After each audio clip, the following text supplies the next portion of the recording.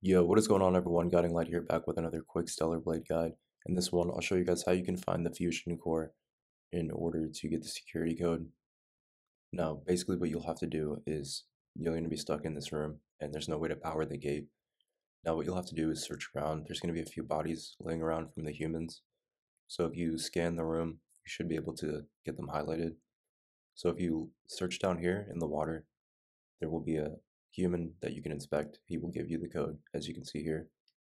So that's going to be the first step to getting this done if you're stuck on this small puzzle.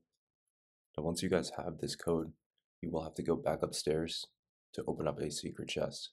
Now once you guys get to the chest, there's going to be a bunch of enemies, so just be ready for them when you get up there. Now you'll see the ladder to get back up top. Just make sure that you search everything down here so that you get the code and all the collectibles as well and head back up top.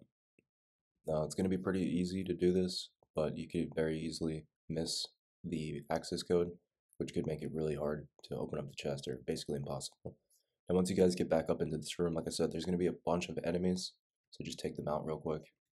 Once you guys do this, you should be able to get up to the chest, and so long as you inspected everything down the stairs, you should have the code now, and you'll be able to enter it in.